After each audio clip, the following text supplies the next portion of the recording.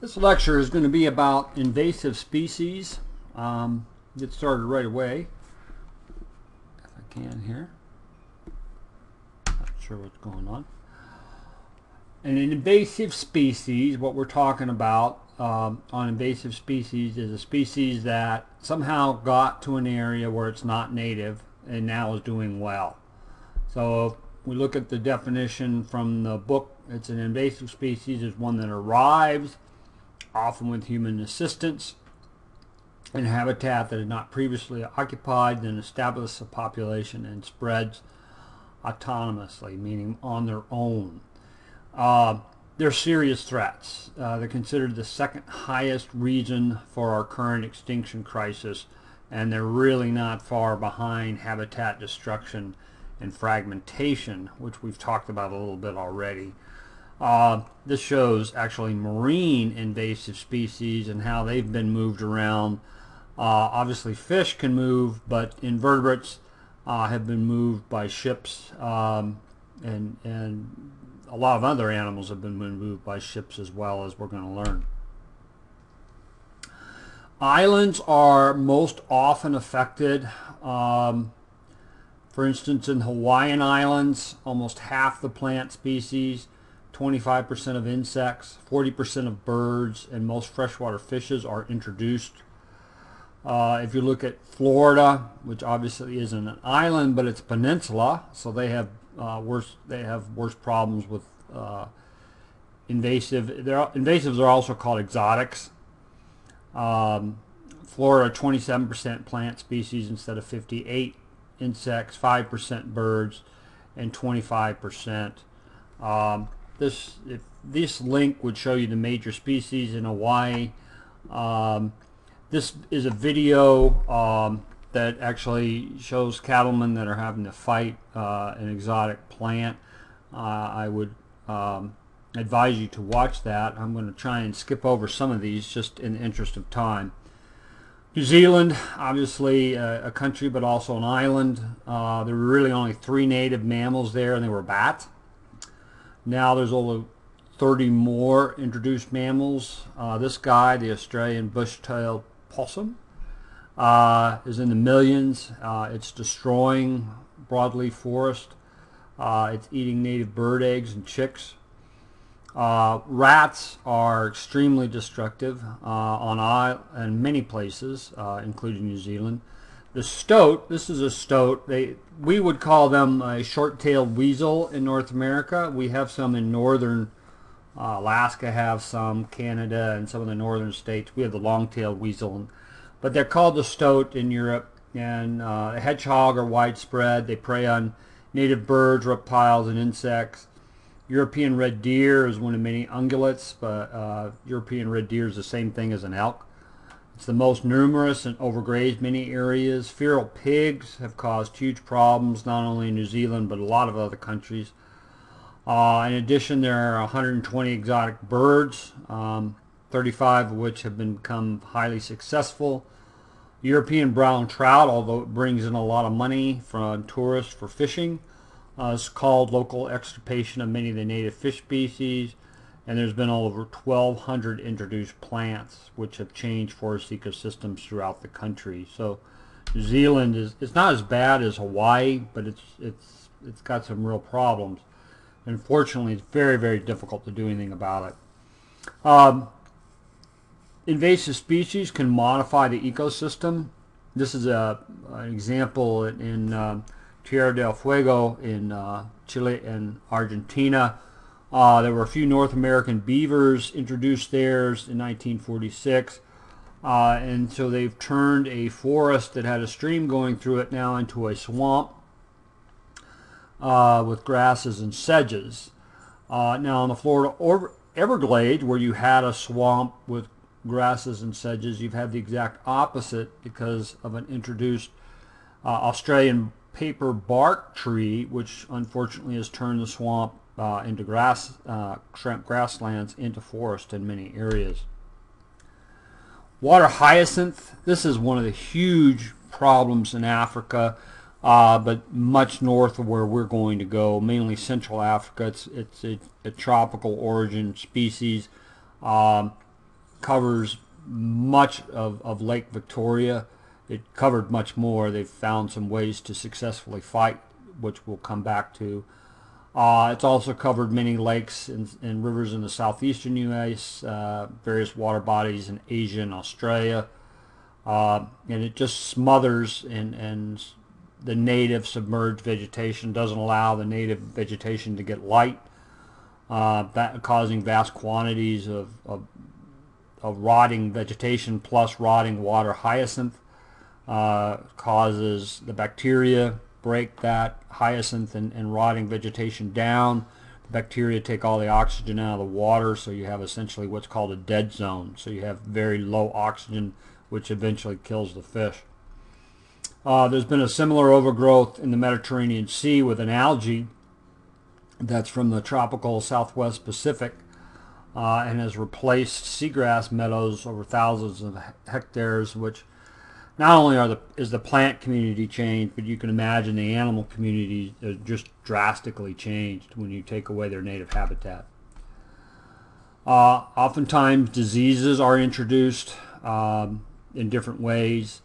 Uh, in our own country, you had the uh, chestnut blight um, in the 30s, the 1930s, that is. Uh, this was one of the most common trees in the eastern deciduous forest. Uh, about 30% of the forest uh, was chestnuts. Unfortunately, this uh, blight uh, wiped out almost all of them. Uh, chestnut was an extremely important part of the forest ecosystem, not only for the birds and mammals that live there, uh, the food source out of chestnuts, but it also um, produced a lot of leaves that decomposed um, and uh, very rapidly and, and was part of the nutrient recycling system which is now slowed down because oak leaves don't decompose near as fast uh, which has slowed tree growth down. Uh, and this is from uh, an, an Asian uh, disease.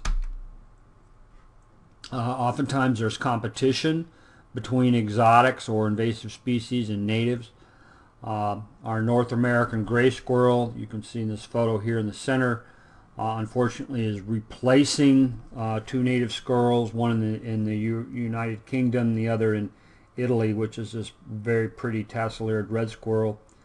Uh, the house gecko, which is from Southeast Asia, uh, is causing a decline. Here you can see two are killing one of the native lizards and fighting over which one is going to eat it. Um, a lot of invasive species are very aggressive, uh, and the native animals have no defense. They didn't evolve uh, with an, such an aggressive species. Uh, the red fire ant, uh, I'm from the southeast, so I know all about them. Uh, hideous species. Uh, I will click on this link here in a second. greatly reduced native ant populations in the U.S., along with several other insect species. Then we have this problem right here in Arizona. That's the zebra mussels. Uh, they settle on top of, of, North American mussels and their threads surround them and, and, actually suffocate them. They're clogging up pipes, causing millions and millions of economic damage. So let's go here. I already had it open once. Uh, it's time to find a place where times of things is measured for something differently. Some place for once in a lifetime to leave the everyday of every bend. To find yourself, it's time. Glacier National Park. It's time. Fire ants are one of nature's most fearsome cleaning forces. Fire ants are one of nature's a most red fearsome cleaning fire ant army can take down prey a red much larger than fire itself, ant army and take down prey clean overnight. Dozens, even hundreds of fire ants sting in unison, and this is what humans have come to fear. The ant bites down and then stings, injecting a toxic venom that burns like, well, fire. Red imported fire ants were introduced to the United States in the 1930s, probably stowing away in ballast on a Brazilian cargo ship. Now they've spread across several southern states. The ants build large nests in the soil and once established are known to devastate the ecosystem around them. They've been known to radically reduce the number of animal species in a given area, sometimes eliminating them entirely with the power of the swarm. Attack on a beetle not going well? Call in reinforcements. Fire ants can aggressively take over an area and spread like wildfire. For 150 Okay, let me look at that.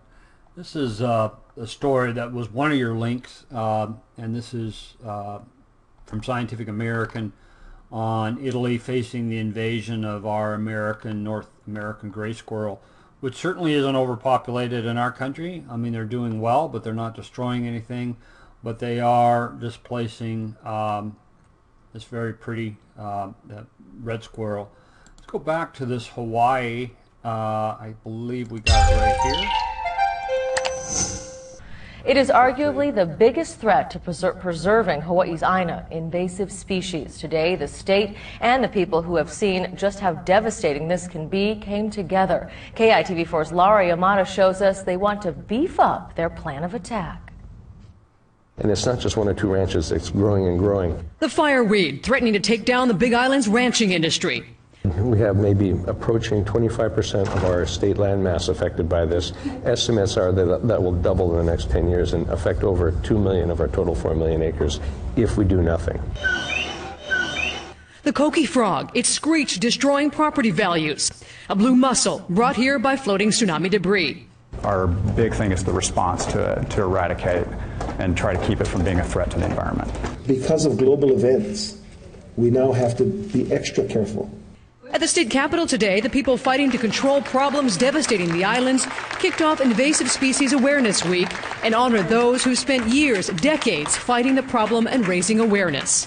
So this is the cottony Cushion scale. Darcy Oishi has been one of many researchers partnering closely with other departments to find new ways to battle back against invasive species. More recently, releasing the fireweed moth on the Big Island. We have a caterpillar that feeds on it. They're now breeding caterpillars, and that's because they need it in order to, to recover their rangelands again.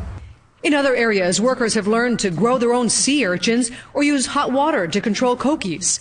They are but a few examples of a new way of thinking to do whatever it takes to preserve Hawaii. Each of our agencies have a different role to play, but we only play it well when we play it together.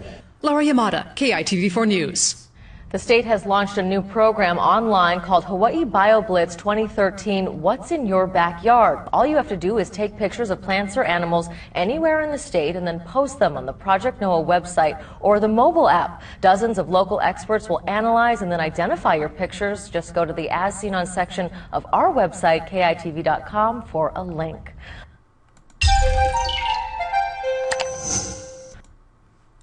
Okay, so that gives you a little more insight into what uh, Hawaii has got to deal with, which is bad.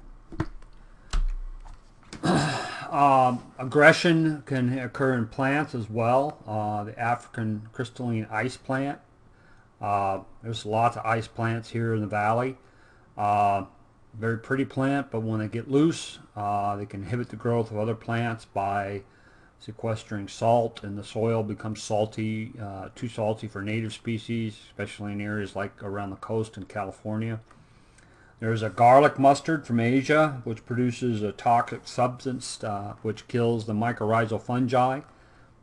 If you haven't had a soils class, or, or hopefully you've talked about it in ecology, the mycorrhizal fungi in soil is critical for continued plant growth, uh, nitrogen um, breakdown, uh, and many native plants depend on this mutualistic association. And when the garlic mustard grows, uh, nothing else does. Predation uh, by exotic species or invasive species, uh, uh, as I mentioned earlier, the, the, the rats, the Norway rat, the Pacific rat, mongoose, the stoat, which again we call weasel here in the U.S., on islands, ground nesting birds have been wiped out as they didn't evolve with that type of predation. Rats have been credited with the extinction of 37 bird species on different islands.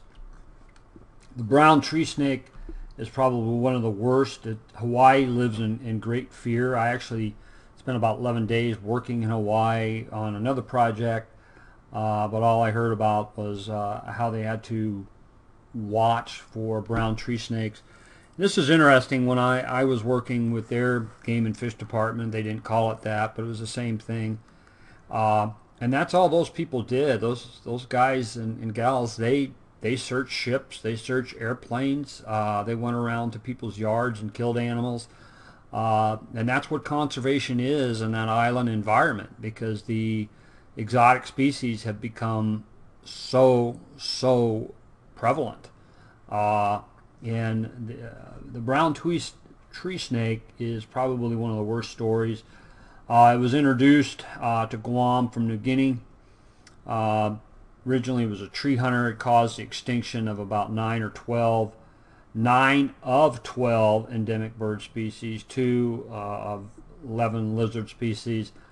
Uh, you can check this this BBC film out. It, it basically only shows one tree snake though, um, and it uh, went on to mammals, and so now now they're concerned about the native mammals on Guam. Uh, they currently, since all the birds are almost dead, now they're dropping poison mice uh, with acetaminophen, which is you know is Tylenol. Uh, so they they've got dead mice laced with Tylenol that they drop out of helicopters, hoping that brown tree snakes will eat it, um, and uh, that will kill them.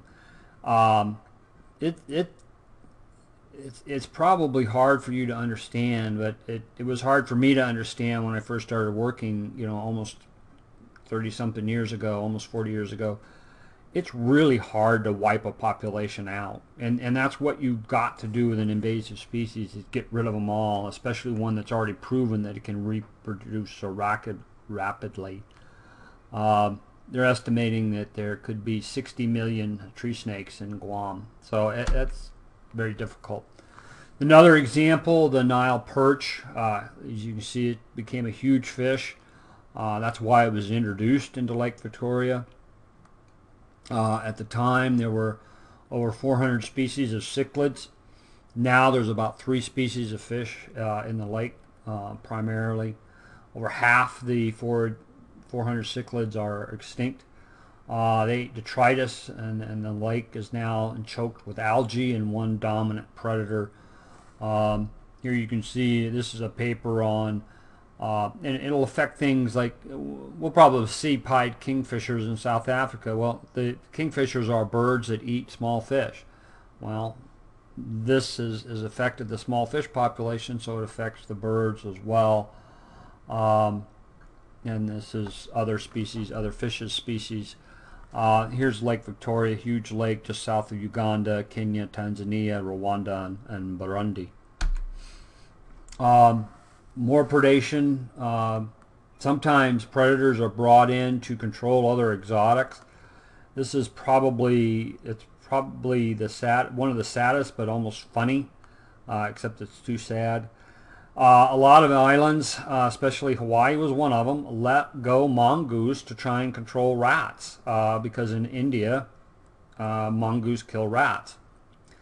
Uh, and in Africa, we will have like six different species you might see in South Africa mongoose. The problem is most mongoose are diurnal. Most rats, especially those in Hawaii, are nocturnal. So they released a, a predator, thinking of biological control, which is when you control an invasive species by another one. Um, and it didn't work because the two don't live at the same time. They're not active at the same time, so it created a huge problem. So here you've got a, uh, this is a picture of a mongoose actually killing a nene, which is a, an endangered Hawaiian goose. Um, another example of, of biological control going wrong is, is uh, people introduced in, in the southeast United States the rosy wolf snail. Um, to many Pacific islands to control previously introduced giant African snails. Uh, unfortunately, not only failed to control the targeted prey, which are too large for the rosy wolf snail to attack, but it caused the extinction of over 50 species of native land snails in these different Pacific islands. A lot of times uh, invasive species can can create huge problems through their food habits, which oftentimes is herbivory. Uh, the Russian wheat aphid in um, just three years caused about $600 million damage. Um, the European gypsy moth uh, killed that much timber in just one year in the northeastern United States. European rabbits introduced to islands have devastated man-made plant populations, often by stripping bark, killing shrubs and seedlings and sapling trees, uh, and also cause extensive erosion uh, and they almost destroyed Australian grasslands. Um, rabbits in Australia, I, I, would suspect you, you've read about it or heard about it. Uh, here's a picture from a, a, well, several pictures from a website. I will outbreed everything that you ever loved. Um, and they really did destroy the grasslands. Uh, this is a, a website um, you can see how serious they've gotten about it in, in Australia, and it's because they have to. Um, but they have their own website uh, for monitoring rabbits, uh, how to get rid of them. They have been able to control rabbits for a while using a disease. Um, unfortunately, they're they're afraid that um, rabbits are going to become immune to this disease and there's a reason uh, people joke about breeding like rabbits. They, they reproduce very fast. Uh, and if they do become immune um, to this bacterial disease, uh, they could take off again and, and they're just a very dominant herbivore with no real predators. Um, oftentimes, this biological control, which I just mentioned earlier, um, where they they release one species to control another one can be very successful. There's been some great uh, success stories. Um, going back to those hyacinths that controlled Lake Victoria, um, they're in, in the native area of South America where we uh, hyacinth is from, there's a weevil that actually kills the plant, keeps it from, from reproducing to this extent. Um, and they have been able to successfully on Lake Victoria uh, reduce water hyacinth there through releasing those weevils. Um, prickly pear got established in several islands and in Australia, uh, and they've introduced cactus moth um, or a Brazilian cochineal bug um, to reduce the cacti. Uh, unfortunately, some of these uh, insects will then go island hopping and, and cause damage to native cacti.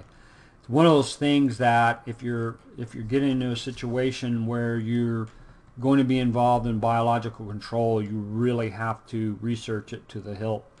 Uh, it's, it's, it's and then there's several laws passed as to what types of things you have to investigate before you can do it because there's just too many examples of of like the mongoose being released to control rats when they're not even awake at the same time of day.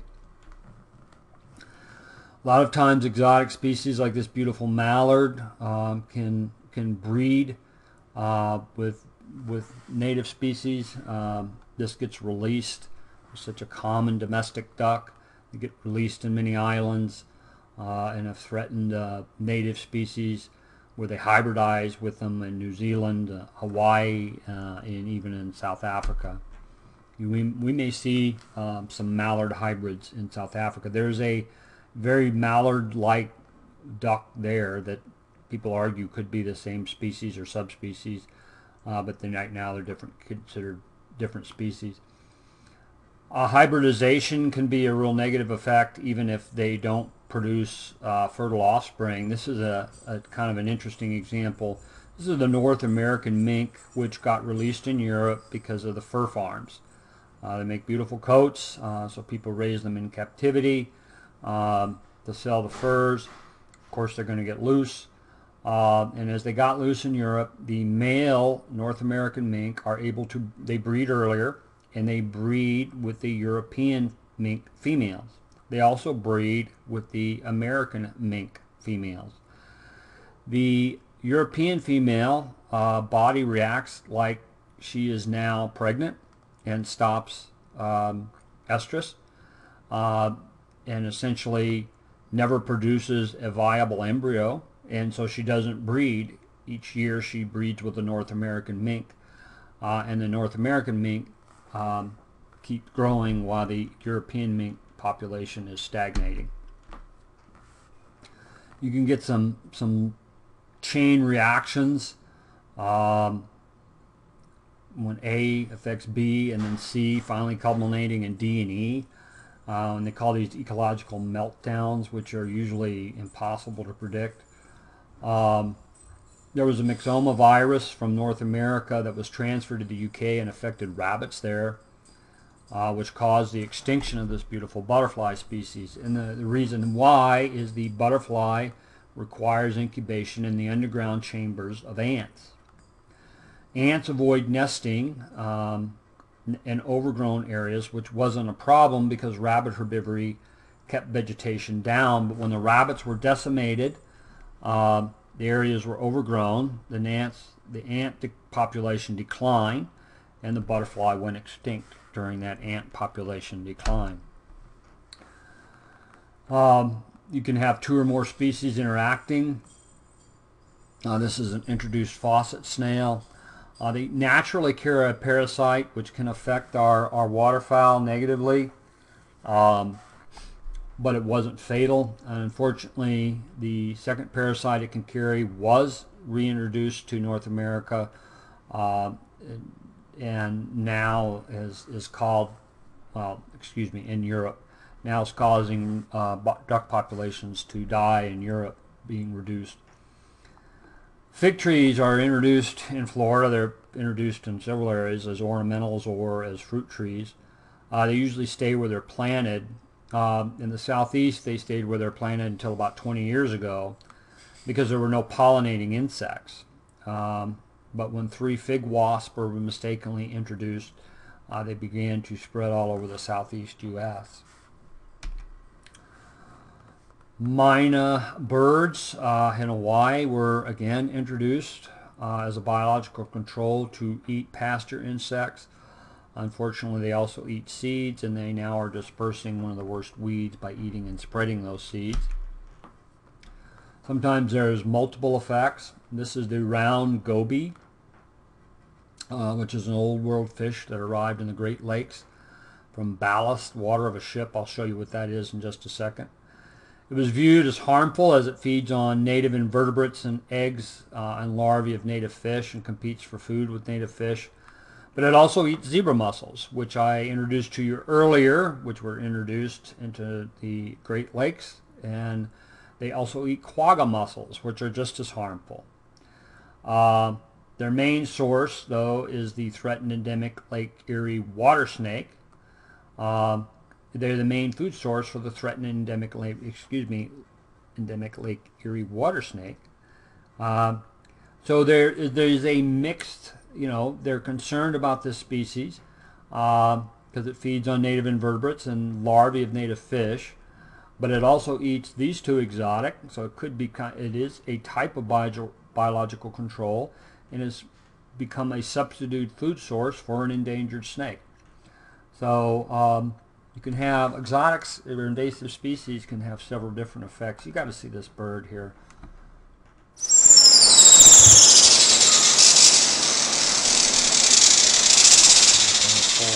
The sound you are hearing is coming from an important South American creature that may soon be extinct. It is the call of a critically endangered hummingbird, a call unlike that of any other on Earth the call of the Juan Fernandez fire crown.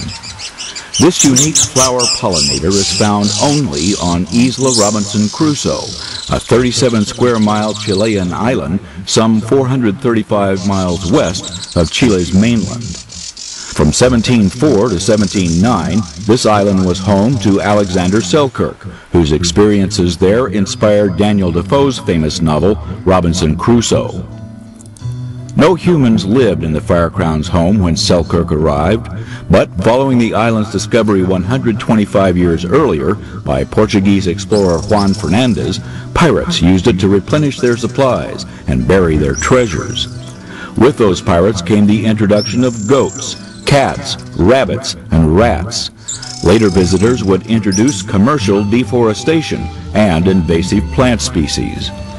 Before all this, the Juan Fernandez firecrown had not known any predators, and the abundant plants upon which its life depended were unprepared for competitive, non-native species. The deforestation, invasive plants, goats, and rabbits destroyed much of the island's habitat and many of the firecrown nesting sites. Cats captured the unsuspecting birds as they fed, and rats devoured their eggs and chicks. The firecrown's population plummeted. Efforts are underway by volunteers and Chile's National Forest Service to stop the ongoing damage and to save the Juan Fernandez firecrown from extinction. Even the children, who number among some 700 persons living there, are helping to increase awareness of their national treasure by singing of the Picaflor de Juan Fernandez.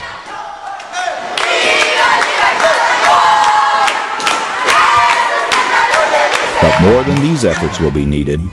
It will take more education, more participation by locals, and critically, more support by those who understand that to lose the Juan Fernandez firecrown is to lose forever yet another of this planet's unique species, as well as an important pollinator that aids in sustaining the island's endemic plant species.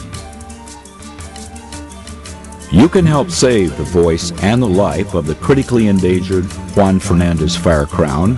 To learn how, contact the Hummingbird Society on the net at www.hummingbirdsociety.org or call 1 800 529 3699. Do your part. Help save the Juan Fernandez Firecrown.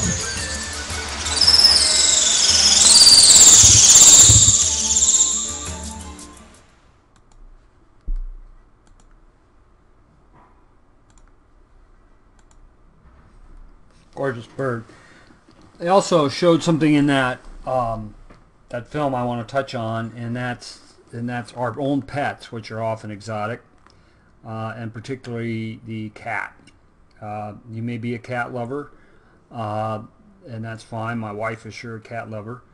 Uh, I'm not really a cat lover because I know how much damage they do. Up to 80 to 90 percent of predation on birds in urban areas, uh, reptiles in urban areas is done by cats. Uh, certainly feral cats have a large part of that, but also just pets. Uh, hopefully you can help me uh, increase people's awareness of how much cats can do. Um, there's just no need to have cats outside, in my opinion. Uh, they're way too much of a killer. They're way too good at it. Um, and they've really decimated populations in many areas. Uh, and this, this Juan Fernandez fire crown hummingbird is a prime example. Similar to what we talked about uh, with fragmentation, overexploitation, there's oftentimes a lag time. Um, and so even though a species is introduced, might be fine for several decades and then all of a sudden takes off. Both the Brazilian pepper and the brown anole from um, ornamental planting, the pet trade were fairly isolated in deep Florida. Um, when they began spreading throughout the southeast U.S. They're not sure uh, why they're so easily spread now. Uh, and I just, but you can buy a Brazilian pepper tree right here in Phoenix um, and Chandler, for example. Uh, and uh, I would hope uh, as you grow as a biologist or as a professional uh, that you can plant native plants we've got enough exotics or invasive species. This is the brown anole, um, which was replacing the green anole, which is the native species. We're not sure, um, and it, it, it seemed that they were augmented by additional release which re resulted in the increase in genetic diversity and the population began to spread. It's, it's one of those mysteries. It, a lot of times just knowing why it happened is certainly uh, certainly good to know, but it it doesn't solve the problem. Um, so what do we do about it? Uh, the most important thing is to keep any more invasive species from, from moving onto an island or a, a cold continent. Uh, most countries have established white and black lists where the penalties for blacklist releases are growing. Um, and they're not legally admitted under any circumstances. Unfortunately, these blacklists are often very incomplete. And who enforces them? No one really. Um, Arizona actually, the, the state has a very strict live wildlife and, and list. But plants are, are basically, insects are basically not regulated.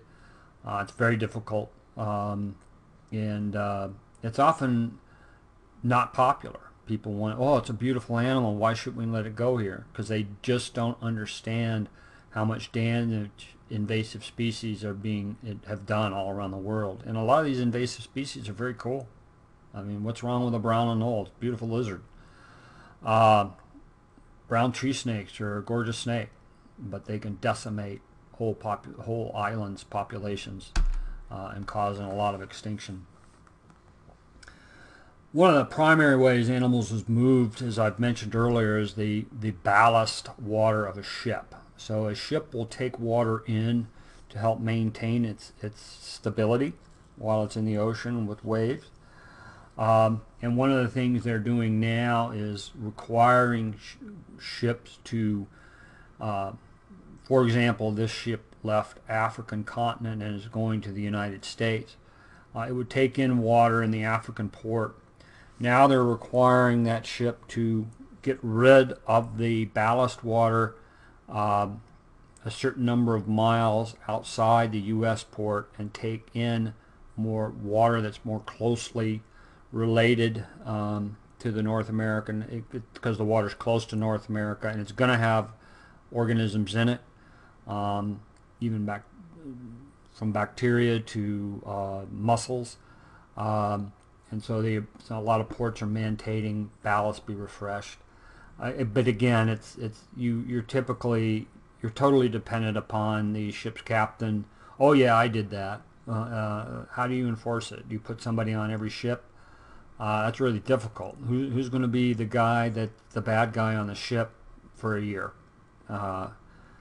Uh, I wouldn't want that job. Uh, monitoring and eradication. Um, you need a really well-trained staff. Uh, more and more states, more and more countries are trying to recruit citizen scientists. More and more public education so people understand the difficulties caused by very cool animals, but that they just shouldn't be there. Um, for eradication to occur, you have to have a lot of resources. You have to have clear lines of authority. Um, the biology of the target must be well known or well studied. And if eradication does occur, you must be vigilant that it doesn't come right back after eradication. Very difficult to get rid of a species. Um, they've gotten rid of some on smaller islands. Uh, they've gotten completely rid of rats. Uh, they've gotten rid of feral pigs from large islands as such as those in the, the Galapagos. Um, sometimes, though, some that were succeeded were stopped not for the lack of the ability, but public outcry to using chemicals or killing invertebrates. This is a, a news article from um, mute swans in New York State. They're beautiful. They're not native. They were out competing native waterfowl, uh, and they were trying to get rid of them. Um, and the people just had an outcry, and they so far they have not been able to proceed with their plans. Uh, and this is from February 22nd, 2014. So you can see that education is really key, really key. You need to get involved in that. Um, now, if you can't get rid of them, maybe you can try and maintain them from growing any further. Um, three main methods of mechanical or physical control, uh, chemical control, uh, and biological control. Um, or you may combine all three methods. Uh, for example, lantana in Africa requires both spraying and the physical and, and someone pulling the ropes. Uh, maintenance, the main concern of long-term chemical control is other species and the development of poison-resistant strains. The biological control is preferred, uh, but it takes a lot of study pre-release, uh, and it may not work, or you may create um, more problems. So that's it on invasive species. This is one of the lectures where you do have a an assignment. You are to find um, invasive species in um, South Africa, um, and it is. Oops, this isn't the right one. Um, hang on here. Thought this was all ready to go. Uh, remind me later. I don't want to change my passwords with you guys watching. Uh, let's go down here to invasive species. Uh, invasive species. This one isn't available to you guys. Find at least five invasive species that are causing conservation problems in South Africa, three of which should be vertebrates. Develop a short PowerPoint with no more than three slides per species describing the species, its origin, and how it got there, what kind of problems it's creating, what is being done to try and stop it, and include your sources at the end of the PowerPoint. That is due to me by July 13th. Okay, I will talk to you guys real quick. Bye-bye.